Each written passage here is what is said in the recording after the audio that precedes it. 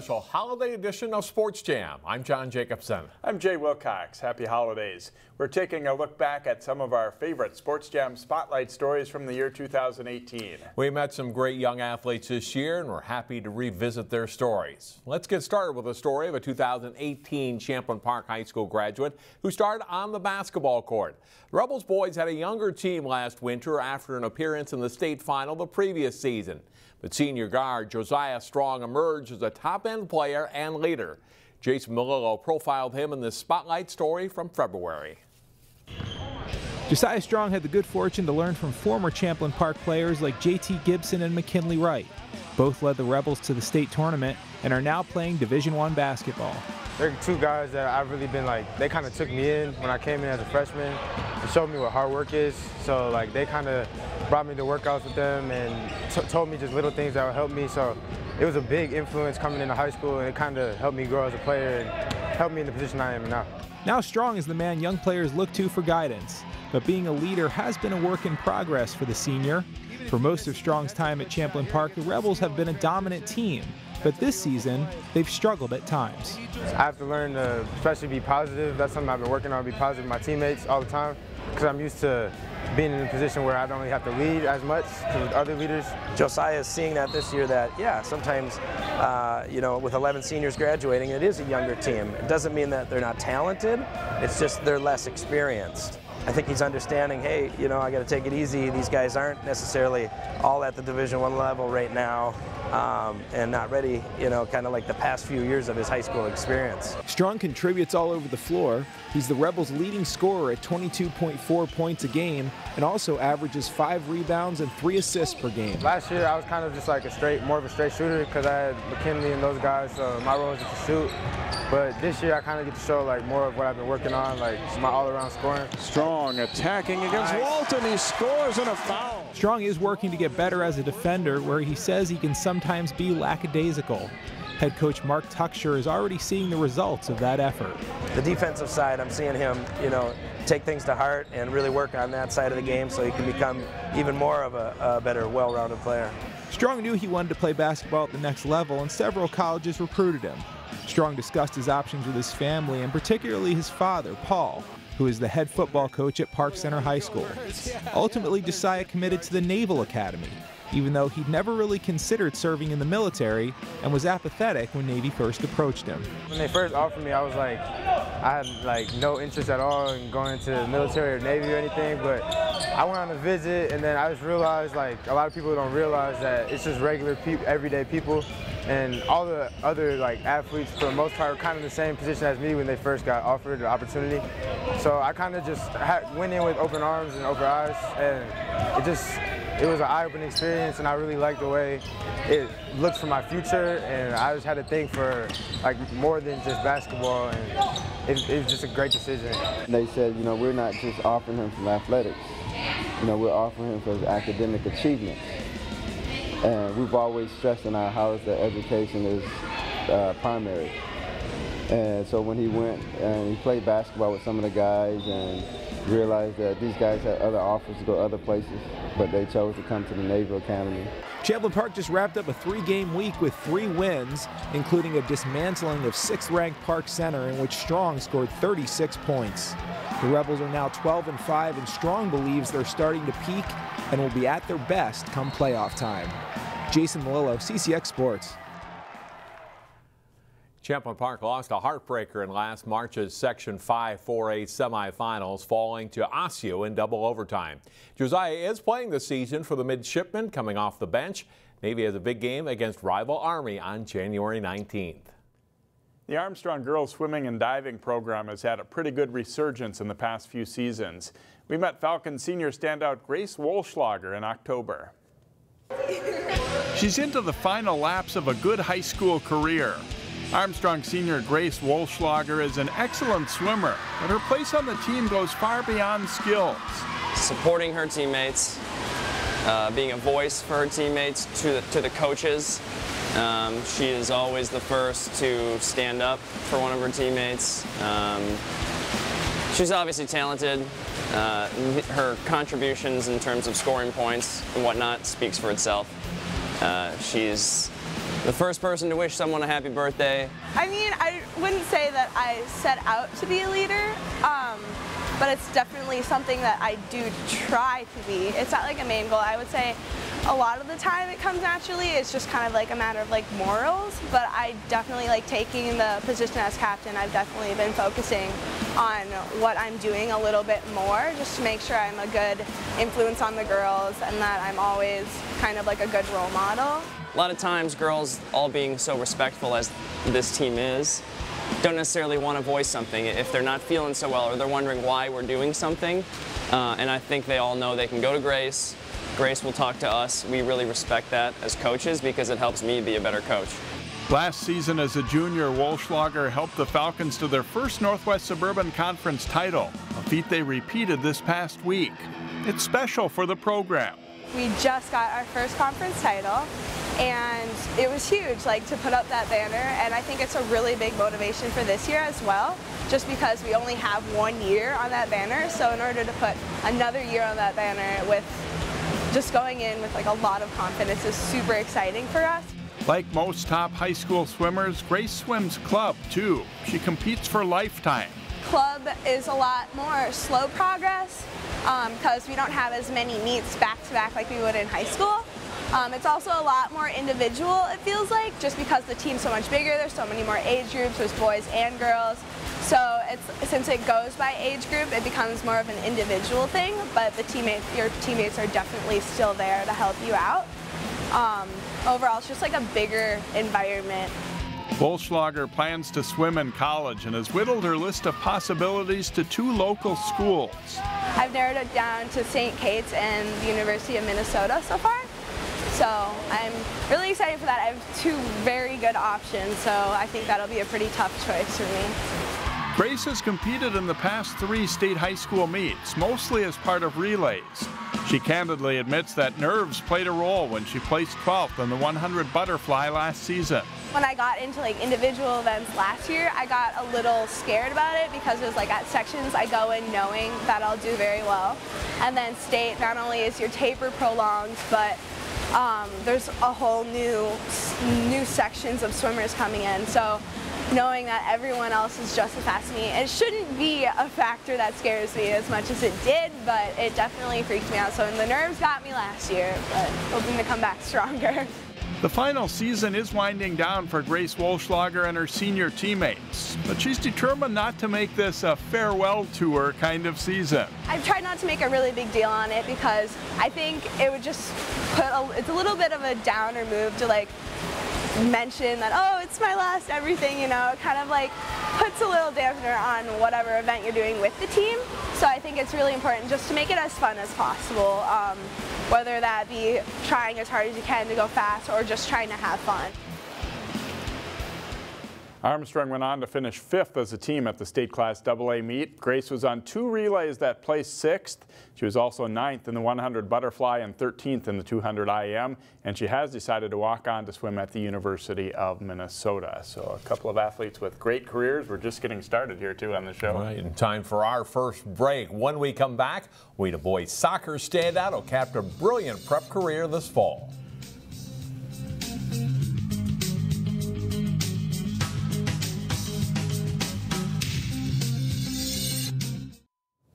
The Totino Grace boys soccer team was state Class A champion in 2017. The Eagles won north, another Northwest Suburban Conference title this fall, but fell short in their bid to return to state. We met Eagles star Herbert Endeley in this spotlight from early October. Soccer coaches are always looking for scorers, guys who can create and put the ball in the net. Senior Herbert Endeley of Totino Grace fits the bill pretty well. After netting 34 goals and 14 assists as a junior, he scored 15 goals with six assists in the Eagles' first 10 matches this fall. He's just got a great soccer sense. He knows what to do with the ball. He knows how to get open. Um, obviously, he can finish very well, but he's he's great at finding his teammates and setting them up. Uh, I know last year he had most assists on our team, and this year he's leading right now. So he's he doesn't just score goals, he gets the whole team goals. I feel like I've improved since last year. I feel like I'm helping the team in ways that I should and in ways that I expect myself to, so I'm really proud of myself and my teammates as well. Many soccer teams in the northwest suburbs have African immigrants playing for them. Herbert did live on the continent, but his path is a little different than most. So I was born in Minnesota, but I moved to Tanzania when I was about five years old because my dad, my dad works for the United Nations, so we moved there, we lived there for about five years, and that's where I started playing soccer, and then we moved back 2010 when I was about 10 years old, and then I just continued playing, and it just grew on from there. His parents are from the other side of Africa and Cameroon. The time in Tanzania was a great opportunity for Herbert. For my personal life, it was pretty fun because I've traveled, I've been to a lot of places and living there was pretty nice because I went to an international school, so I had friends from basically all over the world. And it's just nice, you know, seeing a different part of the world and how, not just soccer, but how they live and what they do every day. And in terms of soccer, I just remember we just played every day. During recess, all we did was play soccer and after school, before school, so that's kind of how I got into it. On the Totino Grace team, Endeley is part of a great 1-2 offensive punch with Stevenson Lamar. Came to the U.S. from Haiti a few years back. Herbert and I, before we were soccer teammate, we were friends first. So it's always helping me playing against him as teammate and knowing that he got my back and I got his back. And and he also pushed me to work harder because I'm always like saying looking after him. He's been doing good thing for the team. We play on the same club team, so that really helps us. And I think being friends off the field is very beneficial because it helps us. We have really good chemistry. I don't think I've had as much chemistry with anybody else I've ever played with, so it really helps us. Endeley will play college soccer next season at Indiana. I just think they have a great program and in terms of like going professional, which I hope to achieve in the future, I think it was probably the best choice for me to choose. He has a, a pretty unique story in that um, I think we're in the day and age when they try to identify players as young as possible and then put them on the best teams and academies and those things. And um, in junior high, he was still playing at the C2 level on the club side of things. Um, so to, to go from there to a verbal commitment to Indiana is pretty cool. While they push each other to get better, the Eagles have a team first vibe that helps them be as good or better than the sum of their parts. A lot of people always asking me, Herbert and I, who's better, but first, what I say is that we both help the team. It doesn't matter who, who's better. If Herbert score, they have the team. If I score, I have the team. So the team come first. As Herbert Endeley and Totino Grace take aim at matching last year's state Class A championship, the mentality team-wide is to be hungry. Going after the state title again, we don't think of ourselves as defending anything. We just want to go after it because last year was last year and nobody can take away what we accomplished last year. So we just want to go after the winning state again this year with the same ambition that we had last year. Endeley was named Star Tribune Metro Player of the Year and Mr. Soccer for Class A, but of course, John, their title hopes for returning as champs didn't quite pan out. Blake knocked them off in a very tough section game. Yeah, it was a great section final. He was such a fun player to watch in high school, wasn't he? And good luck to him next year at Indiana. Next up on Sports Jam in our year-end special, we meet one of the leaders of Champlin Park's state championship volleyball team.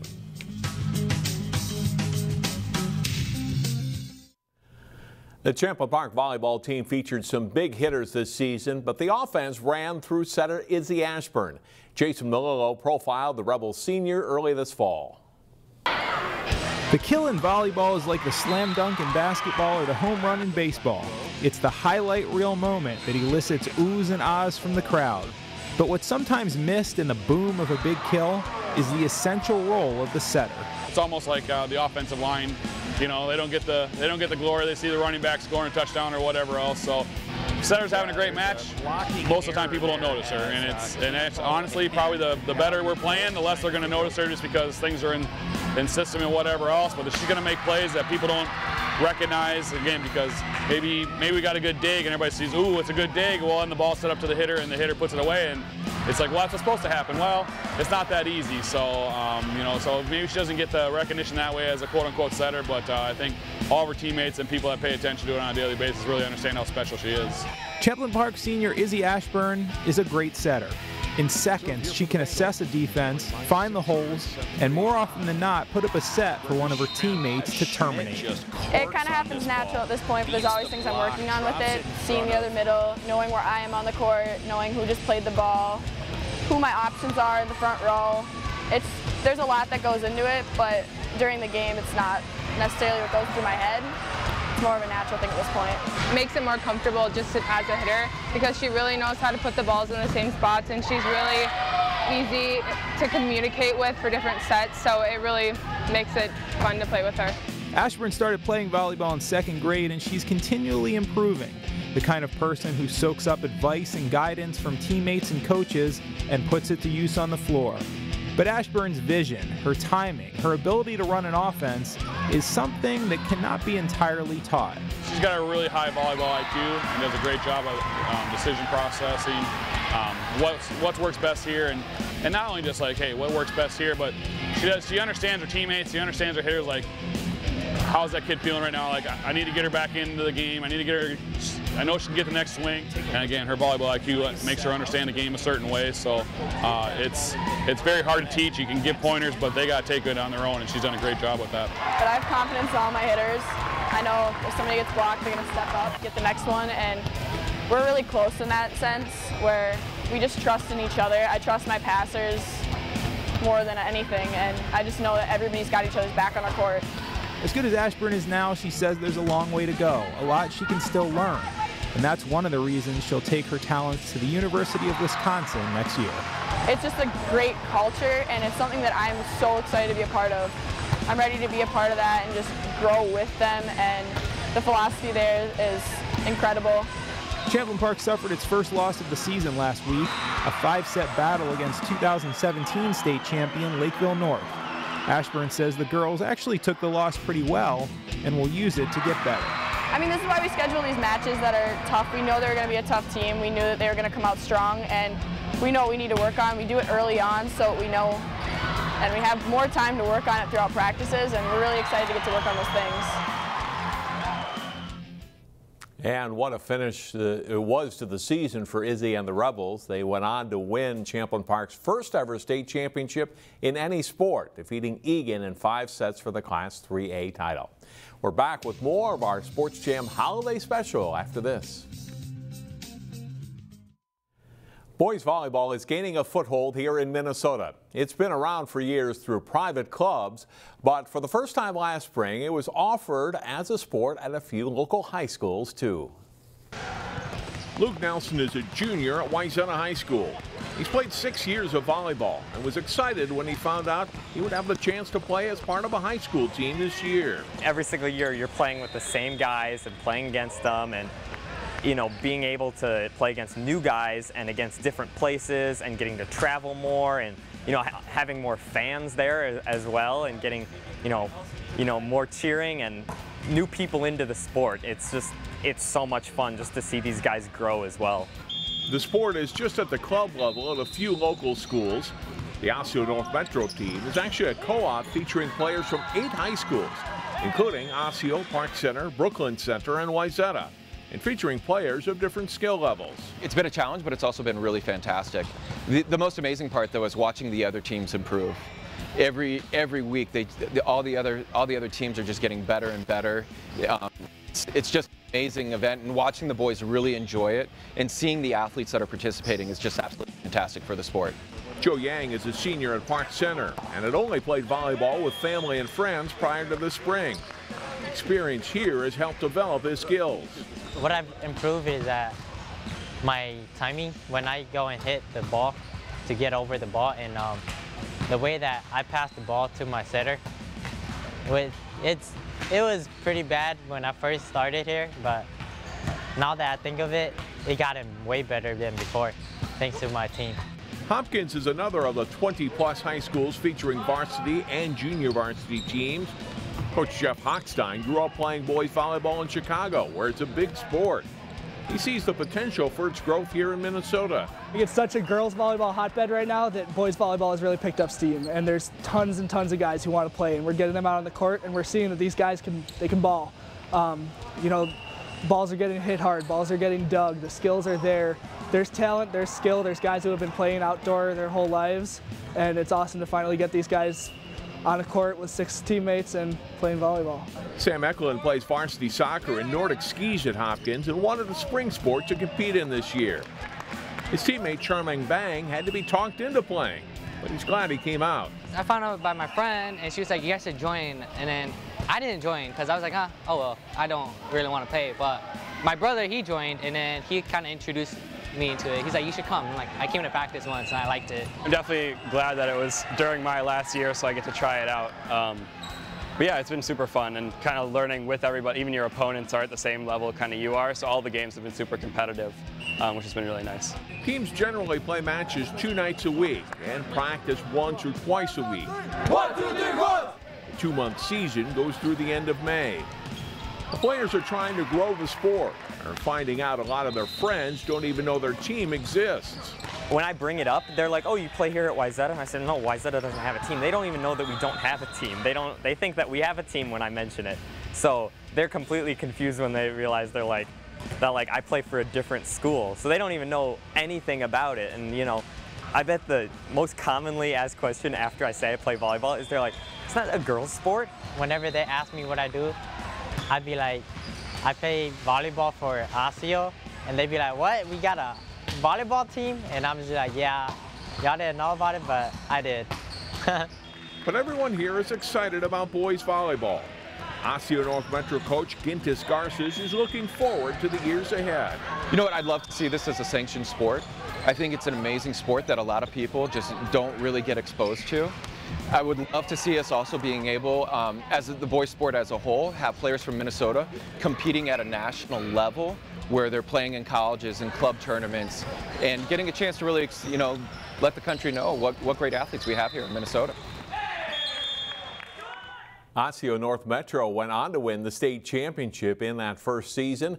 The hope is that more teams can be formed this coming spring. We'll wrap up the show in a moment. What makes your community feel like home? Is it knowing what's happening in your neighborhood? Or when people know your name? Connections make us a community. For more than 30 years, Northwest Community Television has connected citizens, neighbors, even sports fans through video. You can learn about the latest news through our truly local newscast. We cover and air around 150 high school sporting events every year. For our cities, we air parades and city meetings that you can watch whenever you want. Then, any citizen of our cities can create and share their own original content. We'll even teach you how to use the equipment too. We have always provided you with a connected community experience, and as life gets busier than ever, we will continue to engage, inform, and inspire through CCX Media so you can stay connected to the place you call home. Don't miss the Maple Grove Polar Plunge to support Special Olympics on Saturday, February 2nd. Find out more at ccxmedia.org under cities and in the community. Looking for local? Even more local? CCX Media gives you the option to connect with your community on multiple levels. CCX Create welcomes you, community residents, to connect and experience television in an exciting way. The free TV classes we offer will have you on your way to creating TV, and our wide variety of content can be watched at home or on the go. Connect to what's happening in your community. Visit ccxmedia.org. And that will do it for this Sports Jam special. Thanks for your support all year. We'll be back with our regular show the week of January 7th. We'll see you then.